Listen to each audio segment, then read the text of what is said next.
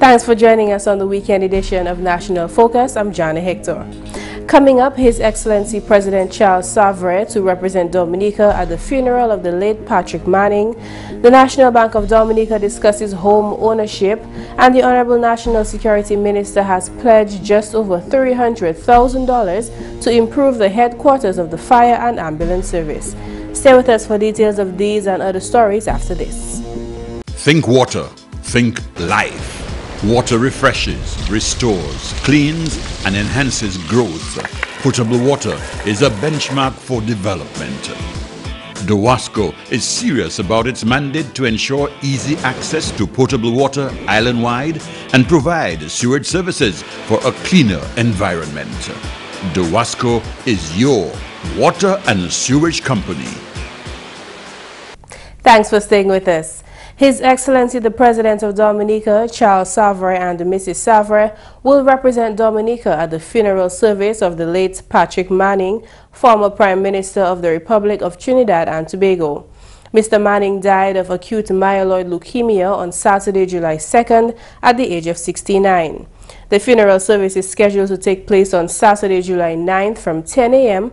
at the Holy Trinity Cathedral in Port of Spain. A private burial by the Manning family will follow.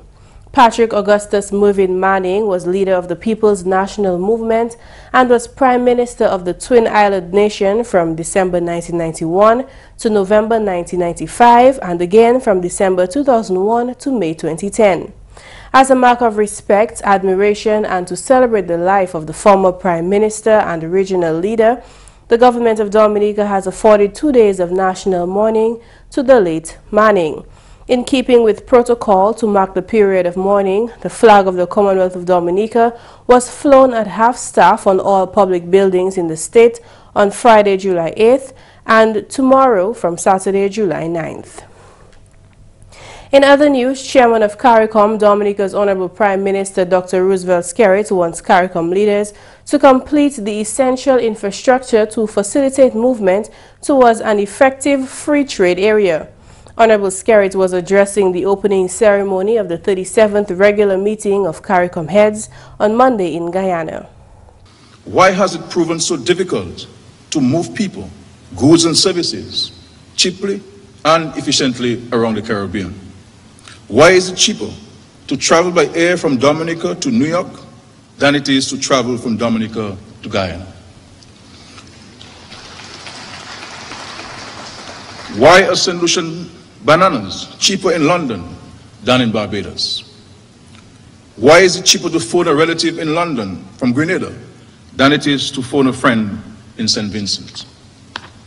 Why can visitors from England or elsewhere be offered an attractive package of different tourism products that draws on the unique natural beauty of each CARICOM country.